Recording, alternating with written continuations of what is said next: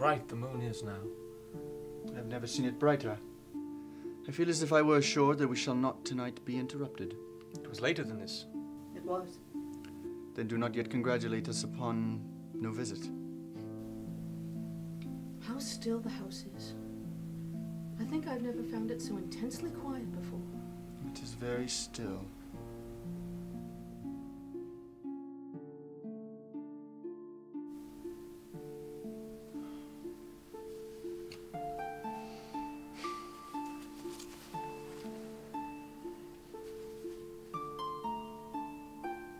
Thought has just struck me.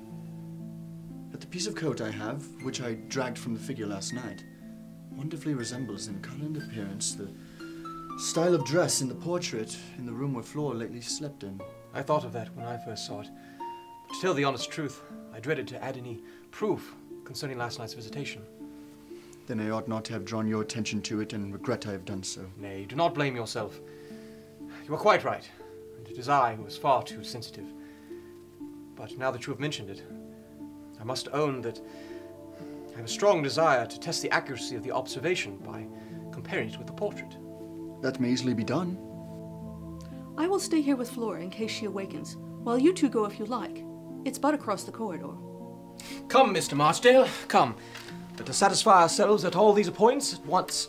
As Mother says, it is just across the corridor, and we can return directly. I am willing.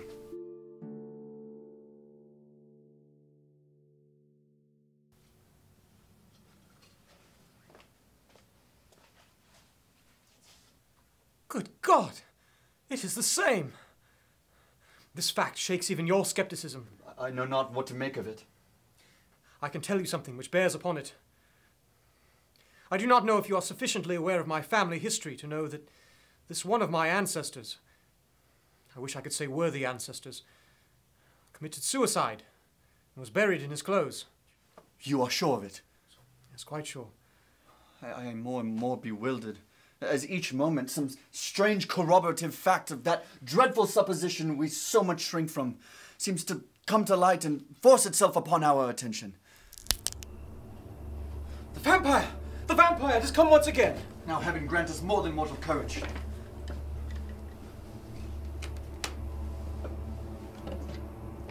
There's someone hidden there, Where? among the laws.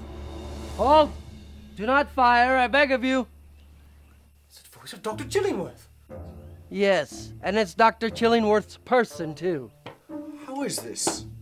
I simply made up my mind to keep watch and ward tonight out here in hopes of catching the vampire. I got into here by climbing the gate. Why did you not let me know? Because I did not know myself, my friend, till an hour and a half ago. Have you seen anything? I fancied I heard something in the park outside the wall. What say you, Henry, to descending and taking a hasty examination of the garden and grounds? I am willing, but first let me speak to my mother, who otherwise might be surprised at our long absence.